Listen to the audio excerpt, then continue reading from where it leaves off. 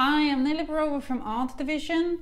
In this video I'm going to talk about why relying on the big three portals alone is damaging your business. Rightmove, Zoopla and On The Market have become so powerful that as an agent you're expected by the vendors and landlords to use at least one or two of them eh, as part of your marketing. So much so that they are many new agencies setting up from serviced offices or working from home as they don't really need a high street presence to attract buyers or tenants any longer. I guess it's what Amazon did to the high street retailers or what Netflix did to the blockbusters.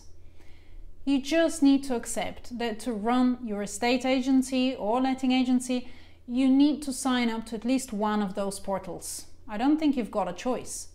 But let's be honest, this is not something that sets you apart.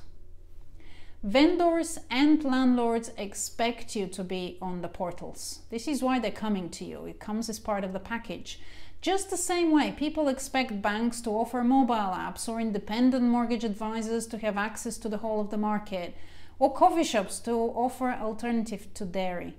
Being on the property portals is no longer a point of difference.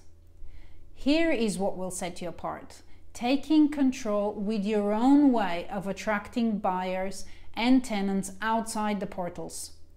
Who do you think will sound more interesting to a prospecting vendor or landlord?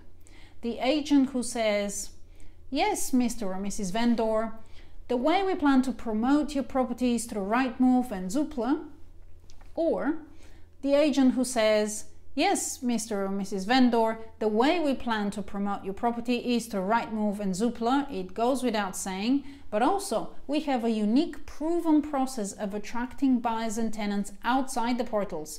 And many of our properties do not even get listed on the portals due to the interest we often generate for them in advance.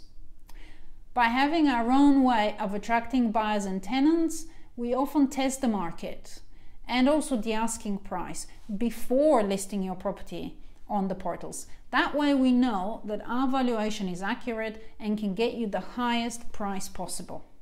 Now, who would you choose from the two examples I just gave you?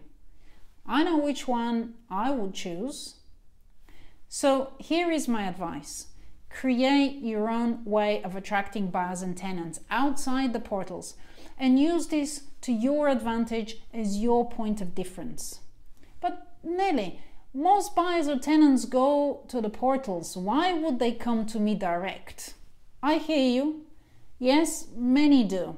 But there are many buyers or tenants that don't know where they want to live. Not everyone does. And even if they do, and they're searching for specific locations on the portals, this is because they are basing their search on the current knowledge of the locations they're after.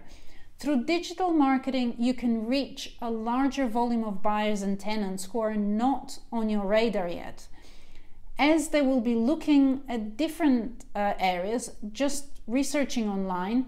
So you can then educate them about your areas, the local schools, the transport connections, new build developments, etc., in those areas and register them as applicants, ultimately bringing them into your pot of applicants when they might never have found you otherwise.